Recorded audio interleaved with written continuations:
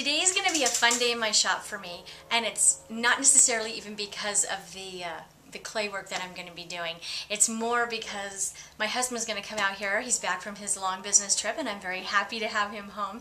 But he's going to come out here and he's going to help me uh, organize my shop a little bit more and give me the rest of the space in this workspace. Because right now there's storage. I don't know if you've been able to look through where my wheel is, but we have our other things stored in that corner. So I'm going to hopefully get some more space in here because I'm running out. I have so many cups and when I pack the cups I have to have a place to put the boxes with the cups in it. And also I'm preparing for a show, uh, a show that I'm going to be doing in November for the San Joaquin Potters Guild and I have to make things for it. And as I sit here, um, I have to figure out a display. I have to figure out all the little things, what type of lighting to use. And it's a small space. Thankfully, I started out with the smallest they had first. So um, we'll see how that goes. But I'm going to do hand building for that. I don't know how much throwing I'm actually going to do for the the um, the show because I, I really, now that it's getting cooler out, I really don't want to be out here at night, so I'm going to be inside the house doing that type of work. And hey, my friend is back. Guess who I still have? Come here, Addy. Come here. I know. She actually, if anyone cares, come on, sweet. Come up here. No. Yes. Well, if anyone cares, if you notice she's not as white as she used to be, because she's actually gotten herself mixed in with the wildcats in the yard. So now she thinks she's all wild, even though she has no claws. But anyway, um, today's going to be an exciting day. I'm going to show you the brown stoneware cups. I'll talk about brown stoneware at the end of the clip, and uh, I'm ready to show you what we're up to today, right? Right.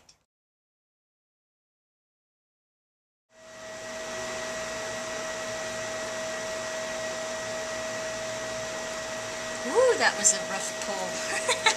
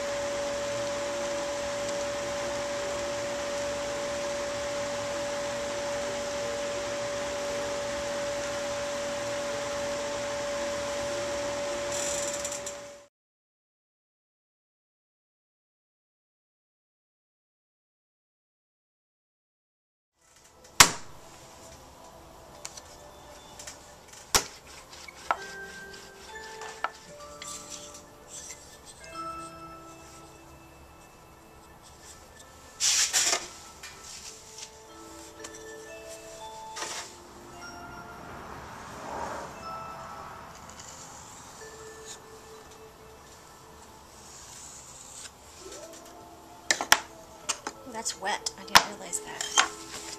Maybe it'll help.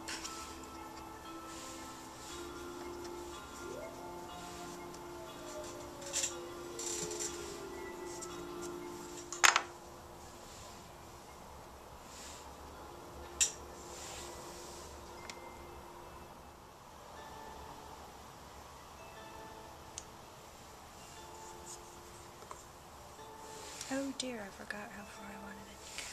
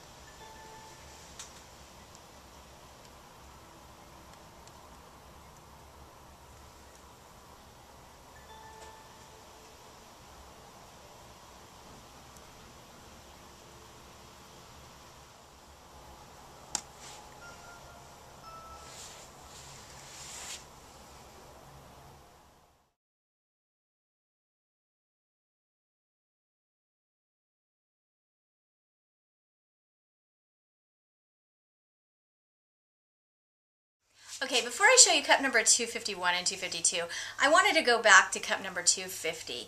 Uh, since that time, well, let me just say, this one, it came out the right agate ware down here, then it made it solid on top and white in the center with only a few streaks of the brown. And I think the cup itself looks really good. I was, I was very happy with it. But I really wanted to get, hold on a quick second, I really wanted it to get agate you know, mixed up and and all. And I made this cup after that. And this was going to be cup number 253, but it got a little crack in it, and you can hear it's thuddy. So you know it's, it's not going to make it through a firing. But I just wanted to show you how it had turned out. This one turned out a little bit more, uh, more mixed. But cup number 251 is nothing to talk about. And this one, I, I, think I'm still just trying to get used to the clay. I'm not real partial. At this moment, I can say this is not going to be my favorite clay, and I really believe I'm going to use this for uh, hand building. Um, I, I can see what I want to do with it as a hand building tool, but when I'm throwing it, I, I don't feel as inspired with form. Is that strange? I don't know. I know it, for me, I'm not as motivated by brown clay. Uh, this one, I'm sorry you didn't get to see the throw on this one. Uh, it got deleted. I had thrown some other cups that dried out too quickly and I just deleted those and this one was one of the throws that I deleted so my apologies on that but uh, anyway I do love the handle on this that turned out so much better than I expected so anyway cup number 252 you're gonna be seeing a lot of videos coming out or I'm going to edit them all the cups extremely short so that I can get caught up.